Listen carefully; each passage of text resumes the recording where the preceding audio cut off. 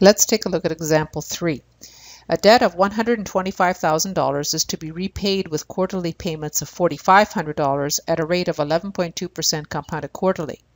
After six years of quarterly payments, the borrowers wish to increase the quarterly payment by 25%. The question is how many of the larger payments will be needed to repay the outstanding balance on the debt.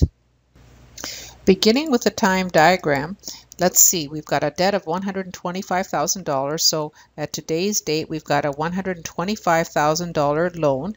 We also know that we have quarterly payments of $4,500 applied against that loan. So we've got one, two, three quarterly payments of $4,500 per quarter. So we've got, there's our annuity shaping up here, $4,500 per quarter. In fact, we know that we've actually made six years of quarterly payments against this debt. So that would be six times 6 times 4 per year is 24, so we've got 24 quarterly payments of $4,500. Let's wrap an annuity bus around that and see what happens here.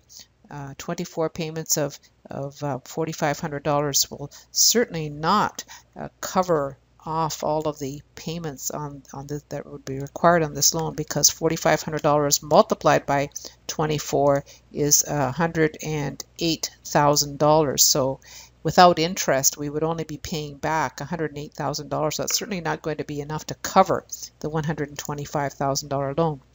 The interest rate is 11.2% compounded quarterly, and 11.2% divided by 4 is 2.8% per quarter. So let's make a note of that. I is equal to 2.8% per quarter.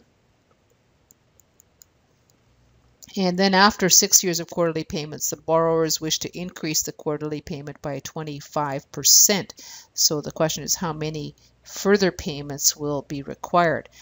Well, this is a multi-stage problem and I think that what we need to do first of all is to take a look at this time diagram and ask ourselves the question how much are they still going to be owing after the sixth year so what I'm going to do is instead of using a focal date of zero as the present value, what I'm going to do is I'm going to move my focal date over here to the end of year six. And doing that, what that means is that I need to ask myself the question, what is the balance that is outstanding on the loan at that time period? Well, the balance that's outstanding on the loan after year six will be the value of the loan at year six, subtract the final value of the payments. I'm going to subtract the payments from uh, the final balance of that loan. And so, so what I'm going to do is I'm going to create an equation of values for that particular focal date that we've selected. In other words, I'm going to say that the balance that is outstanding is equal to the loan at that focal date minus the value of the payments at that focal date. So in other words, I'm going to start off with the loan of $125,000 and I'm going to add interest to that loan at the rate of 1 plus 2.8% interest for 24 periods. I'm going to multiply that by the compound interest factor of 1 plus i to the exponent n. So it's 24 quarterly periods, and I'm going to subtract from that amount the final value of $4,500 per quarter. Now this is an annuity, so I'm going to multiply that by the annuity factor for the future value, 1.028 positive 24 less the 1 divided by 0.028. So this is going to give me two amounts here and that those two amounts will help me out with the balance.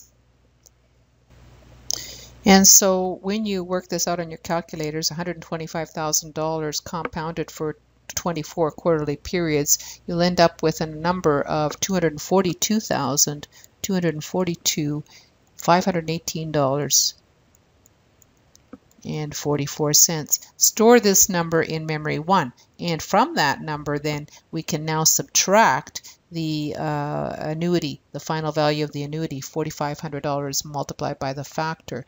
And that uh, final value of the annuity ends up being a final value of 151,095 uh, and 14 cents. And store that in memory two and we end up with a difference being the balance that's outstanding.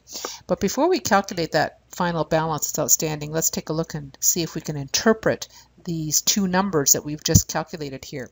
This $242,000 actually represents the final value of the $125,000 loan if we had not made any payments whatsoever over the first six years.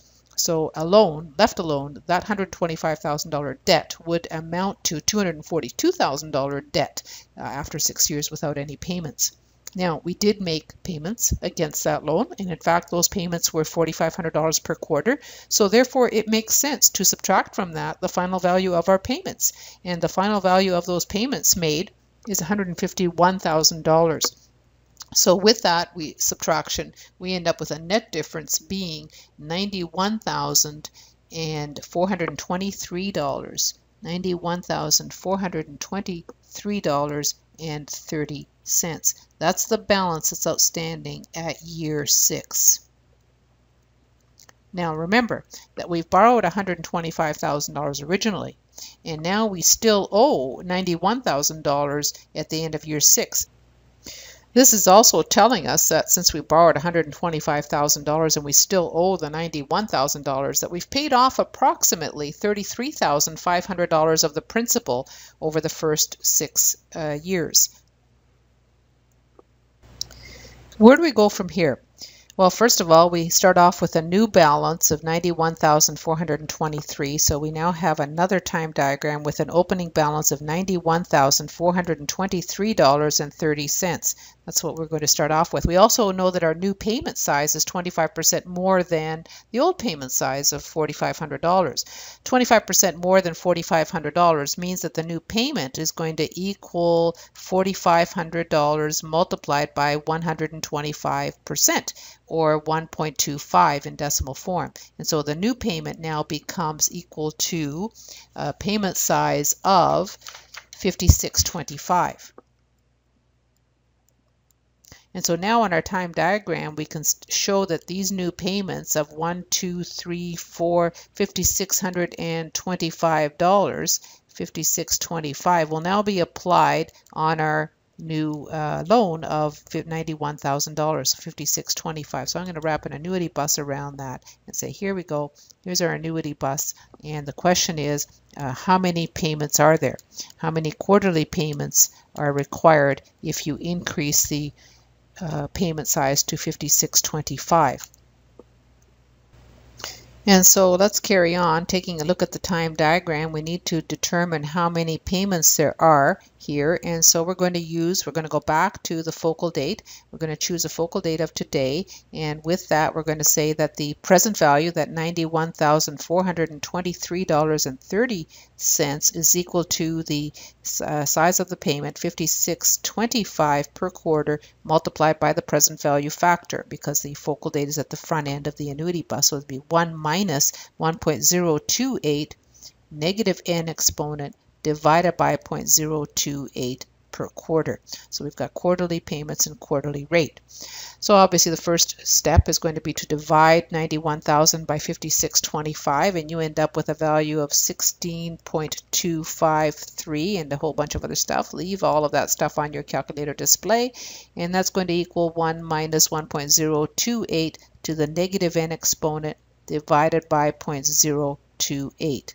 Now the question is, and you should always ask yourself this question, what is the significance of the 16.253? Well, the significance is, is that you will require at least 16 payments if there was 16.253 payments if there were no interest rates uh, included in the calculations at all. So at a 0% rate, it would require 16 and a quarter payments approximately.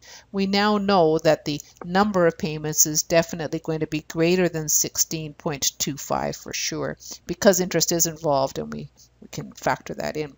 So n is going to be greater than 16.25. Multiplying both sides now by 0.028, so 16 multiplied by 0.028. Again, use all the display numbers on your calculator. You'll end up with 0.4 5, 5, and a whole bunch of other stuff is equal to 1 minus 1.028 to the negative n exponent. Subtracting 1 from both sides, we'll end up with negative uh, 0.5449, etc., is equal to minus 1.028 to the negative n exponent. Changing the signs, the two negative signs to positive, we'll end up with positive 0.5449 is equal to positive 1.028 raised to the negative n exponent. And so negative n will end up being the ln of 0.5449, etc., divided by the ln of 1.028. So now we're ready to work this out on our calculators.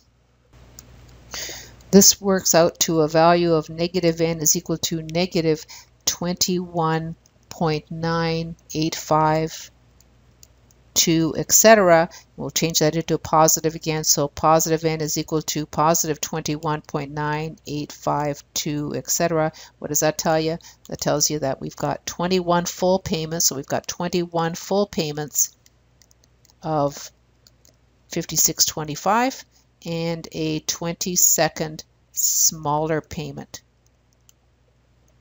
And it's not going to be much smaller uh, than the others, but uh, certainly will need at least 22 payments of uh, 5625 to pay off the rest of the loan. And 22 quarterly payments amounts to five and a half years. So we're looking at five and one half years of additional payments.